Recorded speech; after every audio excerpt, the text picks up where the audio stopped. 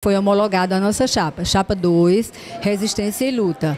Então, por que entramos nessa luta? As entidades de classe, não é? as entidades representativas, principalmente como os sindicatos, então elas teriam que ter como objetivo, então, lutar pelos direitos da categoria em prol de todos, não é verdade? E no caso do sindicato, do Sintep, dos professores aposentados e os professores que estão na ativa. Mas, infelizmente, é, aconteceram é, alguns fatos, não é? Que foi justamente a gota d'água para que entrássemos não é, aqui nessa chapa representando não é, a regional de Patos, que Patos não poderia ficar sem uma representatividade, já que Patos é uma cidade polo. No momento, é a chapa 2 que está lutando justamente para que os professores tenham seus direitos garantidos.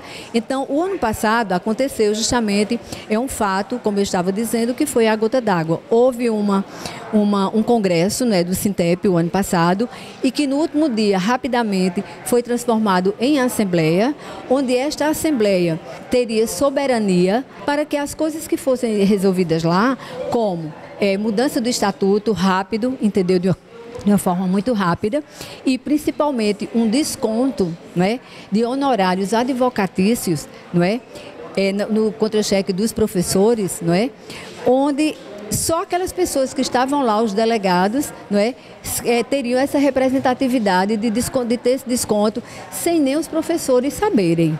Entendeu? Pronto. Então, isso foi decidido na, na reunião.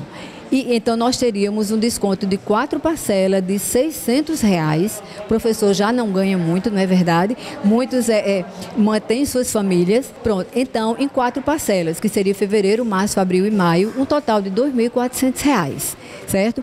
Então, graças à chapa 2, entraram na justiça lá em João Pessoa, no Ministério Público, e a juíza então deu ganho de causa, anulou esta assembleia, entendeu?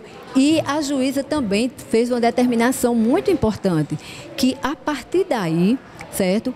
Tudo que for descontado no contra-cheque do professor terá que ter uma autorização individual, certo? E não poucos representarem toda uma classe. Quem pode votar?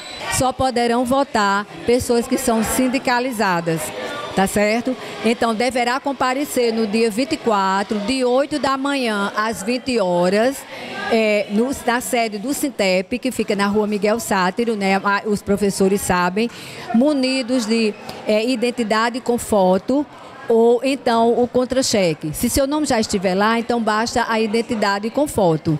Foi porque nós, professores aposentados, nos sentimos prejudicados com essa decisão do Sintep de querer tirar uns proventos do nosso contra-cheque que ia prejudicar muito a gente. Então, nós resolvemos entrar nessa chapa, que é de João Pessoa e Campina, Patos e outras cidades. E aqui estamos lutando. Muita gente, professor aposentado, nos pedia, né, para que entrasse nessa chapa e defender a categoria. Eu sou oposição há 20 anos. Então, o nome da nossa chapa, ela tem história, resistência e luta. Nós somos brasileiros, nós não desistimos. Como se compõe uma chapa para concorrer uma eleição a nível estadual? Eu sou a única candidata de Patos a nível estadual. Eu sou da Secretaria de Administração, membro titular são 13 secretarias.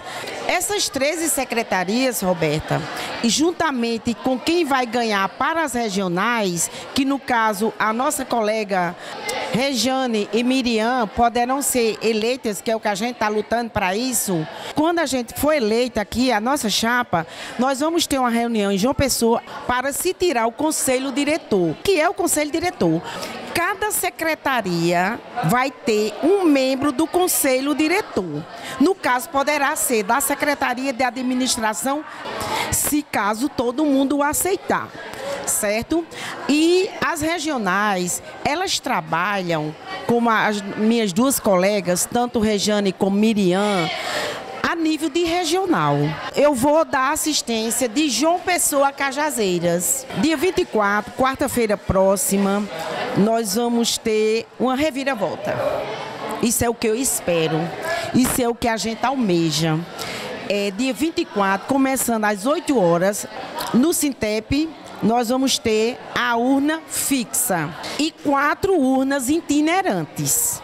Cada carro das urnas itinerantes vai um mesário, tanto da chapa 1 como da chapa 2. E vão para as cidades e escolhe uma, um, na cidade, escolhe uma escola como polo, como centro, para as pessoas irem até essa escola e votar. O nosso artesanato está ganhando o mundo com o apoio do governo da Paraíba. Estou muito orgulhosa porque tem peça minha em todo lugar. Sai de Itabaiana da minha porta para Inglaterra. E tem mais oportunidades, concursos, espaços para comercialização e iniciativas que ganham destaque na mídia internacional. E o Salão de Artesanato aqui em Campina Grande vem aí, cheio de orgulho para homenagear a cultura e a tradição da Feira Central. Este é o artesanato do governo da Paraíba.